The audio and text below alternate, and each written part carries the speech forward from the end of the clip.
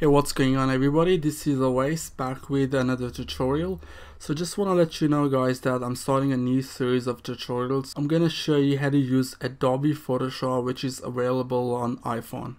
Okay so this is what you see when you start your Adobe Photoshop app from iPhone.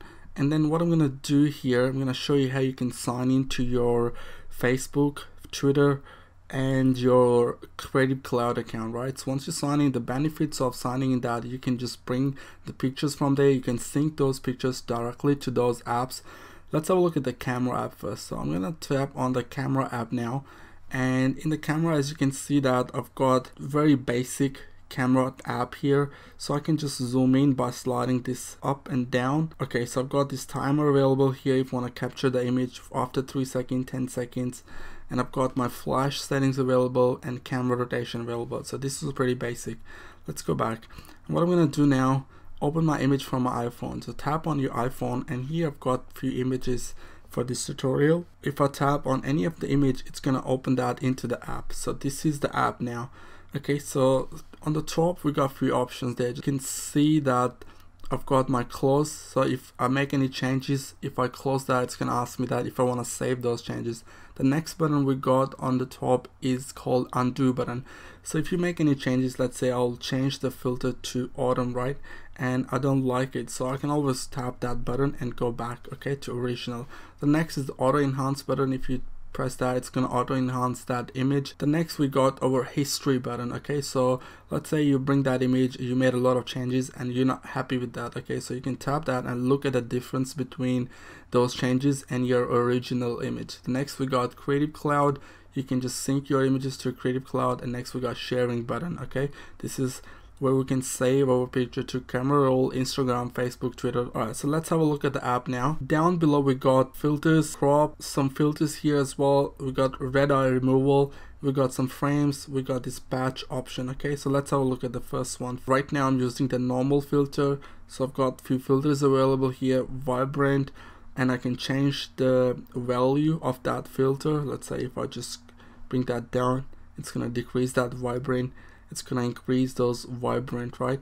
So let's go to our next filter. So to bring it back just tap the undo button it's gonna bring that picture back to the original okay? These are all the filters available and I would say that this is the best photo editing app available on iPhone and Android as well. And we got some premium looks here available which are free. They call it premium but these are basically free. My looks is basically you can customize your filters and make them as a filter. So if I make any changes to the picture and I want to save that as a filter so I can do that by tapping that press button you're gonna name it and then you're gonna save that by here okay?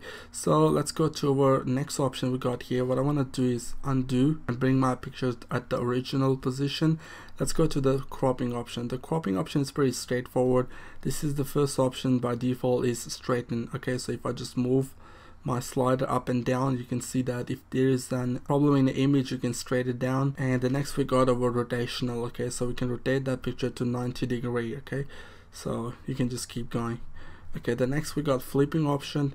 If I flip my image left to right right to left and we got next option is top to bottom bottom to top. And then I'm gonna bring that back. Okay so now we got some cropping presets here. If you tap on this button here you got unconstrained selected. So which is basically let you select the crop whatever you want to select okay? So let's say if you don't know the exact size of a iphone image in the portrait mode so you can select that device crop which is basically gonna give you exact size what is used on iPhone okay? So you can select that. And then once you're done cropping you can just tap in the middle of the crop and move the image to select the exact part of the image what you want to crop. Okay so let's go back here. We got a lot of presets available. We got 16 by 9 8 by 10 10 by 8 okay so the next we're gonna go and open the new image. So once I tap on close it's gonna ask me do you want to save the image? Well I don't want to save now so I'll bring another image now. So I'm gonna select that image now. The next option we got some um, filters available. So if you want to apply some clarity to the image you can apply that. You got your sharpen available here is going to get you zoom in and then you can have a look at the image.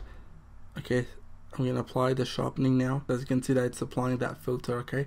So these are all the filters available which is really cool. The next option we got here is the red eye removal. If you got a portrait image and your camera captured the red eye so you can simply tap here red eye auto detect and correct. It will remove that red eye from your picture the next we got some frames available here. We need we need black beveled bevel black. All those filters are available here so you can check them out. You don't need any other app. If you know how to use this app it's enough for photo editing on iphone. The next option is called patching okay? So if you have any portrait image and you want to remove some pimples or some marks on your face you can just tap there and it will try to remove. As you can see that if i want to tap here it will remove that okay so as you can see it's gonna patch that area of the image. Okay so next we're gonna go and save this image save to control camera roll tap there and it's gonna save that there okay?